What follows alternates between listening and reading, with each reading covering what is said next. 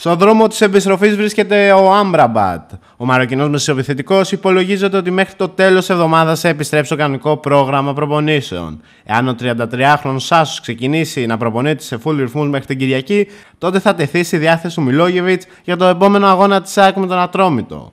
Ο Άμραμπατ βρίσκεται στο μυαλό του Σέρβου προπονητή, ο οποίος συνέχεια θα χρειαστεί να ψάξει τους δύο που θα τον πλασιώσουν στην κυτρινόμαυρη μεσοπιθετική γραμμή. Τέλος, την απόκτηση ενός κεντρικού αμυντικού ενόψου Ιανουαρίου φαίνεται να ψάχνει η ΑΕΚ, αν και ήδη υπάρχουν στο ρόστερ Βράνιες Τζαβέλας, Βάρνας, Λάτση και Μίτογλου. Ένας από τους ποδοσφαιριστές που ακούστηκε το καλοκαίρι για την Ένωση ήταν ο Φραντς Μπρόρσον της Μάλμε.